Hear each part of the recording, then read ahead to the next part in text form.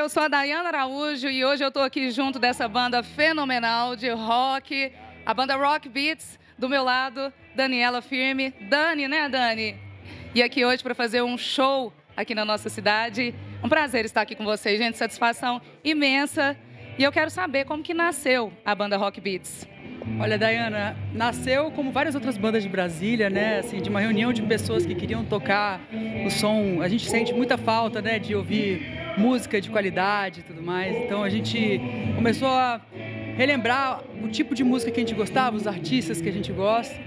E aí a gente começou a apresentar isso para o público, né? E já, lá se vão, sei lá, 19 anos de história, né?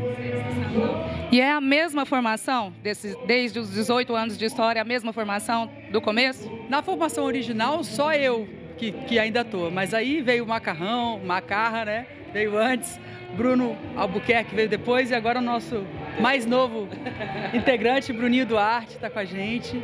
É a batera da banda, né, Bruno? É a batera, é a batera.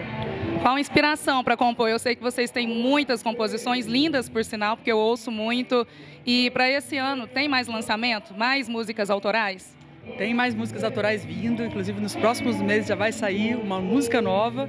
E a inspiração é o que a gente sempre escutou, né? Tem clássicos do rock, tanto nacional como internacional, muito da música brasileira, a gente gosta muito de beber nessa água também.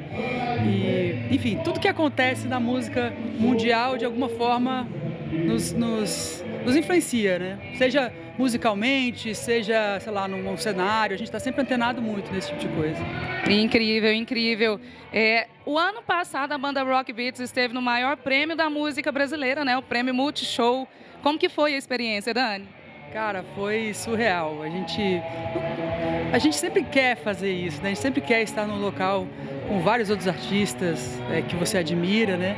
E foi a primeira vez que a gente olhou em volta assim e falou, cara, a gente está numa rede aberta, mostrando o nosso trabalho, foi televisionado por vários lugares e mostrando a nossa música.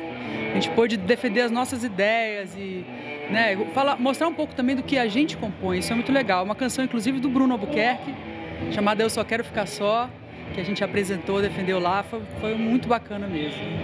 É isso aí, expectativa a mil para o show da Rock Beats. Eu estou muito emocionada de estar aqui com vocês.